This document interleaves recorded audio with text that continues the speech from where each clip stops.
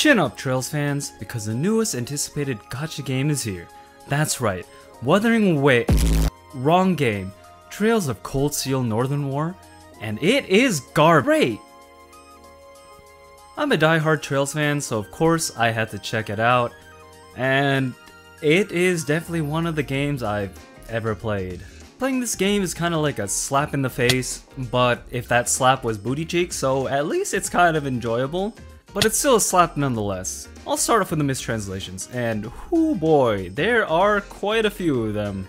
Over here we have the beautiful Icy Maiden. That's right, Elliot Craig. And over here we have the wonderful Laura Arcade, the musician. And who could forget the most important character of Trails of Cold Steel 2, the Azure Chevalier. That's right, Toa Herschel. These are just the tip of the iceberg of some of the mistranslations that are in this game, but my favorite one so far is is is Aryan Lord. The yeah, as you can see, there are quite a few mistranslations, and you know, that's not enough to damper the enjoyment of the game, so let's move on to our next topic, the aesthetic. So looking at some of these portraits, like Laura, you can see that, oh, it's pretty good art because they ripped it straight from the Cold Steel series, mostly 3 and 4. But then, you look at the other older characters like Wazy and uh, Bracer Scott, yeah, they also just ripped that artwork from the respective games. So the art kind of mixes and doesn't really match.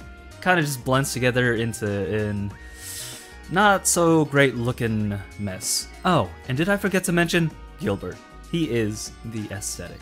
Now, Trails has never been known to be that impressive with their graphics, but they definitely have stepped it up in the past few years. But even then, the character models in this game, uh, to put it lightly, are a bit off. They are somehow worse than the Cold Steel 3 and 4 models, but at the same time, not that much better than the Cold Steel 1 and 2, which is surprising, to say the least. Now, they're not terrible, they're just not great, considering what other great gacha games have come out in the past few years. Moving on, we have the faithfulness to the series, and it's like we compared a wife whose husband has been in war for the past 10 years. Faithful enough to keep in contact, but they're doing some shady stuff in the background.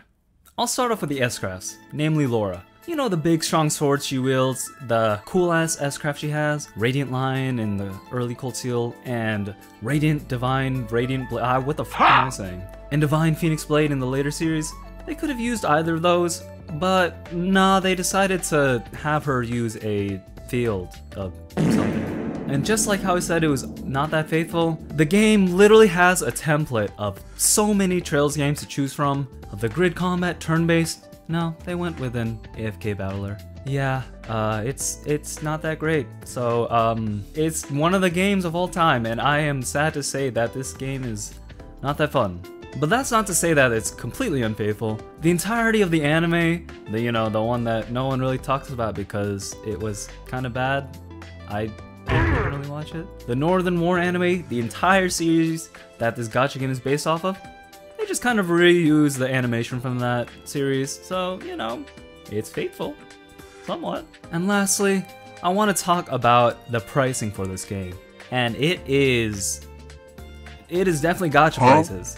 On the day of launch, the prices were definitely mistranslated because some of them were saying $700 for one pack, and I was flabbergasted. I was shocked, bamboozled. I was like, on the floor crying because why would anyone pay that much for a skin of Risha? I mean, it is a nice skin, but if you're asking me, I think I'd rather just go to the real gacha game of the series. That's right, Trails into Reverie. Alright, we gonna win big today! What we gonna get? But yeah, the pricing in this game is very predatory and kinda scummy with how they label some things. So, as much as I want this game to be good for the series, I hope they at least take this money and use it wisely. But from what I've read so far, it is not associated with Falcom, so you know what?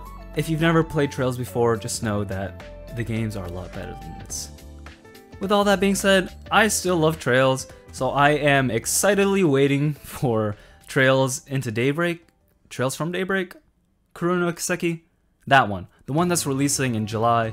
So if you're interested, I will be streaming that whenever it comes out.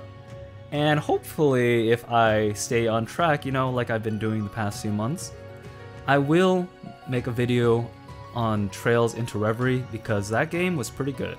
So keep an eye out for that. And until next time, I'm Julius Sky, thanks for dropping by.